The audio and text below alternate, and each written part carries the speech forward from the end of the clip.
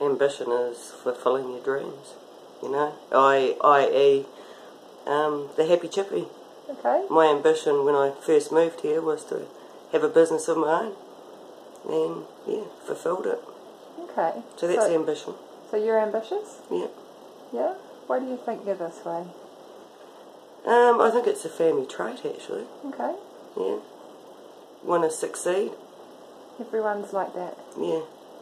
Just came with it, or you were raised that way, or Um, stubborn. stubborn? If people tell me I can't do something, I was told that there's no such word as can't, Yeah. so I do it.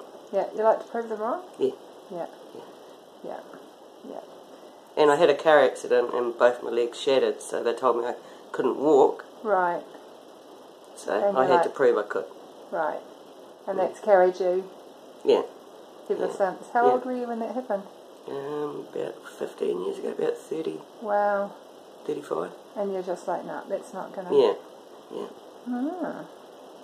So, can you describe for me the most ambitious person you know? Probably my dad. Uh huh. Yeah. Can you tell me a bit about him? Well, he's he had a lucky shop. He was a barber, Right. and yeah, his lucky shop sort of went all, you know, like he was selling um, golden kiwi tickets back in those days, and yeah, and he wanted to succeed, and he succeeded. Yeah. And you watched that and. Yeah, yeah. Probably if I had my full physical state back, Right. but I do aerobics each day, even though some days I feel like I can't even walk. Yeah. But yeah, so yeah, probably full body movement again. Yeah. Yeah. yeah. And do, how do you think people in New Zealand think about ambition generally?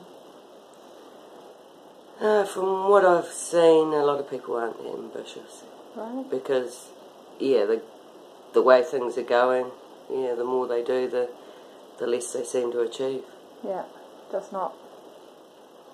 Yeah, sadly.